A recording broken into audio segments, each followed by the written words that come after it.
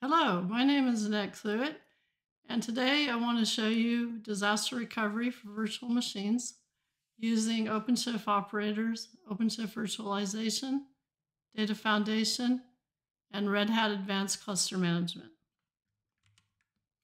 To start with, let's look at the configuration that supports this solution. There are three OpenShift clusters. The top is called the hub. This is where advanced cluster management would be installed.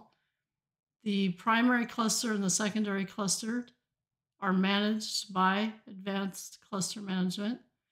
And in this case, we'll start with the application on the primary. The application will be a virtual machine.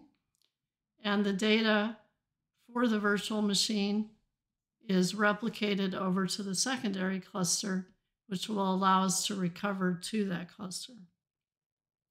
Now, if we go to the hub, we start by looking at the application that was installed. And the application, as I said, is a virtual machine. At the bottom down here, we can see there is a, a virtual machine resource. And let's just make sure what cluster it's on. So right now it's on Hyper 3, which is the primary cluster. So because this is a Windows machine, we can use remote desktop protocol to get into it.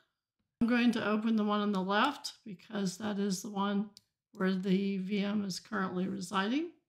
Once it comes up, I can open the SQL Studio for Microsoft SQL, which is installed on the server. So let's go ahead and log in. And then I created a new database. It's a sample database from Microsoft called AdventureWorks. So let's see what kind of data is in there right now. I'm going to run a query. And this query just looks at if there's any files in the database. And what it comes back with are two files, but those are default files. So let's go ahead and do another query and add some data into AdventureWorks. So this is going to add a file group, and then it's going to put two files of a certain size into that file group. Looks like it completed, so we can go back now and re-execute the first query, two additional files in the database. The plan now is to wait just a little bit because this is asynchronous replication for them to be replicated to the secondary cluster. And then we will fail over the virtual machine. Okay, let's go back now after um, we made that change and go ahead and fail over the virtual machine. We just go to Advanced Cluster Management, use the failover option, and then we go ahead and initiate. This will take a, a little bit to um, move it. One thing you notice is that I did it from Advanced Cluster Management. In order for this to work, because it is a disaster recovery solution, it's not necessary that the cluster where the virtual machine is currently running is accessible or even working. So we're able to move or fail the virtual machine over to the secondary cluster, whether or not the primary is available and working. Let's check Argo CD.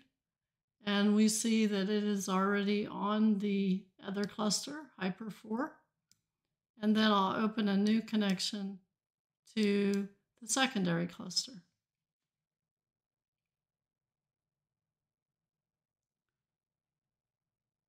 Bring up SQL Studio again.